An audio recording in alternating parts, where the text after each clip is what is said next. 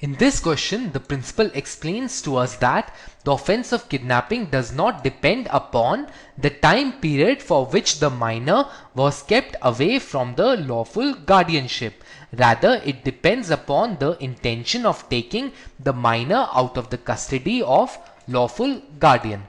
Now, the explanation in the present question provides that whoever takes or entices any minor out of the keeping of the lawful guardian of such minor without the consent of such guardian is said to kidnap such minor from lawful guardianship. That is, it explains what is the meaning of kidnapping from the lawful guardianship.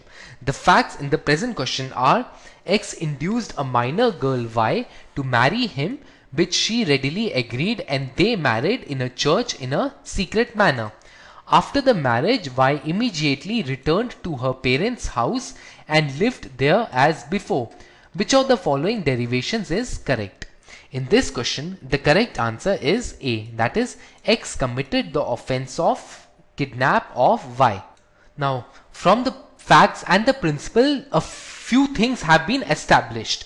First, the marriage of X and Y puts an end to the existence of guardianship of Y in her father.